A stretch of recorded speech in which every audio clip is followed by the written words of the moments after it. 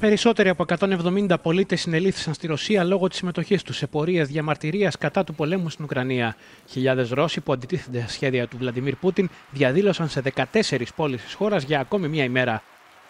Στη χιονισμένη Μόσχα, δημοσιογράφος του Γαλλικού Πρακτορείου Ειδήσεων είδε ο ίδιος να συλλαμβάνονται 20 διαδηλωτές από την αστυνομία.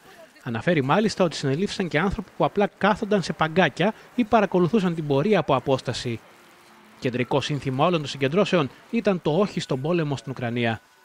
Σε μια παράλληλη διαδήλωση που οργανώθηκε μέσω των social media, πολίτες πραγματοποίησαν καθιστική διαμαρτυρία σε περίπου 30 ρωσικές πόλεις. Από την άλλη, δεν έλειψαν και οι συγκεντρώσεις υποστήριξης των Ρώσων στρατιωτών και της ειδικής στρατιωτικής επιχείρησης στην Ουκρανία, όπως την αποκαλεί το Κρεμλίνο. Σε 37 πόλεις, δεκάδες και εκατοντάδες άνθρωποι συγκεντρώθηκαν με σημαίες για να στηρίξουν το ρωσικό στρατό. you.